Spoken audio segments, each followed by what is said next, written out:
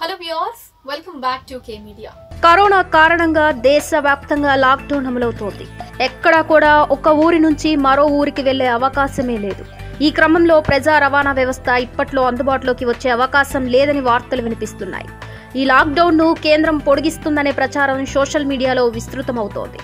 అయితే దీనిపై ఇప్పటికే కేంద్ర ప్రభుత్వం క్లారిటీ ఇచ్చింది. అయితే ఇరవై ఒక్క రోజుల తర్వాత అంటే ఏప్రిల్ పదిహేను తర్వాత లాక్డౌన్ ఎత్తివేయనున్నారు. అయితే కొన్ని నిబంధనలు మాత్రం ఉంటాయి. మరి ఇంతకీ ఏప్రిల్ పదిహేను తర్వాత పరిస్థితి ఎలా ఉండబోతుందో ఈ వీడియోలో తెలుసుకుందాం. ప్రపంచవ్యాప్తంగా కరోనా వైరస్ విజృంభిస్తున్న నేపథ్యంలో భారతదేశ వ్యాప్తంగా ఇరవై ఒక్క రోజుల పాటు లాక్డౌన్ విధిస్తున్నట్లు ప్రధాని నరేంద్ర మోదీ ప్రకటించారు. ఇరవై ఒక్క రోజులు ఎక్కువేనన్న సంగతి అందరికీ తెలుసు. కానీ మనల్ని మన కుటుంబాల్ని రక్షించుకోవడానికి ఇంతకన్నా మార్గం లేదు. బాగా అభివృద్ధి చెంది అత్యుత్తమ వైద్య సదుపాయాలున్న ఇటలీ అమెరికా వంటి దేశాల్లో సైతం ఈ కరోనా బీభత్సం సృష్టిస్తోంది. దీన్ని నివారించడానికి నిపుణులు చెబుతున్న మార్గం మాత్రం సామాజిక దూరం. మీరు ఆరోగ్యంగా ఉన్నారు కదా? విదేశాల నుంచి రాలేదు కదా అని ఈ దూరం పాటించనక్కర్లేదనుకుంటే పొరపాటే. ఎందుకంటే కరోనా వచ్చిన వ్యక్తులు చాలా రోజుల పాటు మామూలుగానే ఉంటున్నారు. లక్షణాలు కొన్ని రోజుల తర్వాతే బయటపడుతున్నాయి. అందుకే దాన్ని ఆపలేకపోతున్నాం. ఈలోపే అది వారి నుంచి మరికొందరికి వ్యాపిస్తోంది. కాబట్టి ఈ వలయాన్ని అడ్డుకోవాలి. దానికి సామాజిక దూరం ఒక్కటే మార్గం. ఇరవై ఒక్క రోజుల పాటు ఇంట్లోనే ఉండాల్సిందే. దేశంలో కరోనా వైరస్ వ్యాప్తిని అరికట్టేందుకు కేంద్ర ప్రభుత్వం ఇరవై ఒక్క రోజులు లాక్డౌన్ ప్రకటించి అమలు చేస్తోంది. కరోనా గొలుసును ఛేదించాలంటే ఈ బాధలు నిర్బంధం తప్పవు.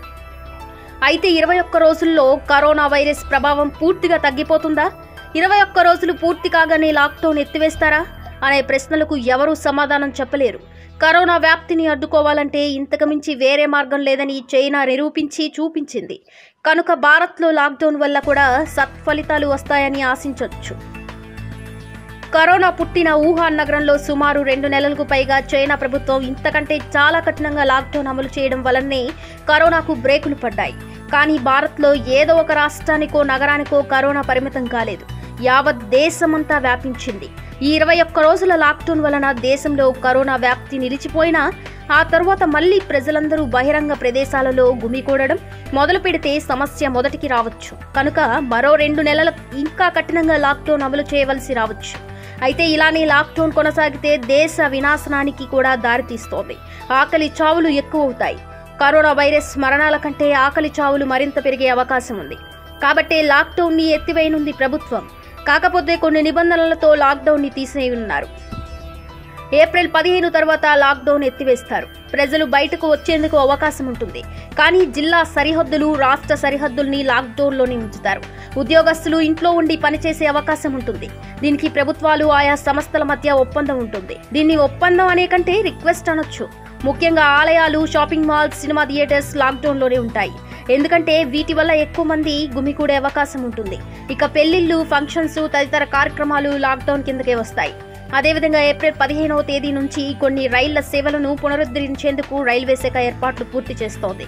ఆ రోజు నుంచి రైల్వే సేవలు పూర్తి స్థాయిలో కాకుండా కొన్ని కొన్నిగా అందుబాటులోకి తీసుకొని వస్తారని సంబంధిత వర్గాలు చెబుతున్నాయి. లాక్డౌన్ పూర్తి కాగానే ప్యాసింజర్ సేవలు ఒక్కసారిగా ప్రారంభం కావని దేశంలో కరోనా వైరస్ విజృంభిస్తుండటంతో ప్రయాణికుల విషయంలో మాత్రం కొన్ని జాగ్రత్తలు తీసుకునేందుకు రైల్వే శాఖ నిర్ణయం తీసుకుంది. కానీ నిత్యావసర వస్తువులు ఇతర సరుకులు వైద్య పరికరాలను రవాణా చేసేందుకు గూడ్స్ రైళ్ళను మాత్రం ఎప్పటిలాగానే నడుపుతారు. మీ భద్రత కోసం చేసిన ఈ లాక్డౌన్లో అవసరమైతే తప్ప బయటికి వెళ్ళడం మానుకోవాలి. ఇంటి నుండి పని పని నుండి ఇంటికి. మాస్కులు ధరించండి. మీ చేతులను తరచుగా కడుక్కోవాలి. యాభై ఏళ్ళు పైబడిన వారిని మరియు ఐదు సంవత్సరాల కంటే తక్కువ వయసు ఉన్న పిల్లలను ఎట్టి పరిస్థితుల్లోనూ బయటకు వెళ్ళనివ్వద్దు. కిరాణా మరియు కూరగాయలు కొనడానికి వారానికి ఒకసారి మాత్రమే బయటకు వెళ్ళండి.